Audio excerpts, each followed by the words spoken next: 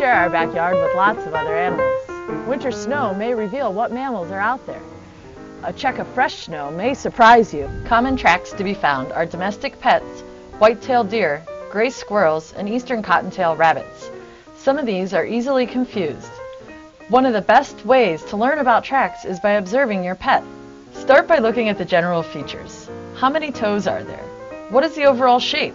And how are the feet placed with respect to each other? Cats and dogs have four toes on each foot and similar shaped paws, but the overall size of the animal is reflected in the track size, and feline ability to retract their claws sets their print apart from other mammals. Two animal tracks easily mistaken for each other are the gray squirrel and the eastern cottontail rabbit.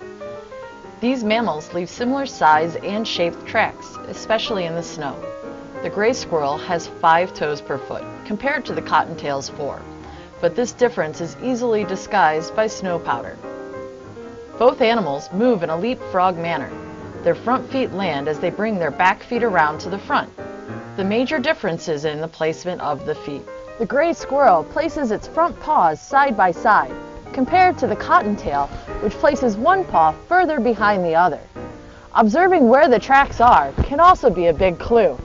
Do they lead from tree to tree or into the underbrush? Many creatures often share habitats, so you may find the heart-shaped hoof print of the white-tailed deer mixed in with the eastern cottontail rabbit and the gray squirrel.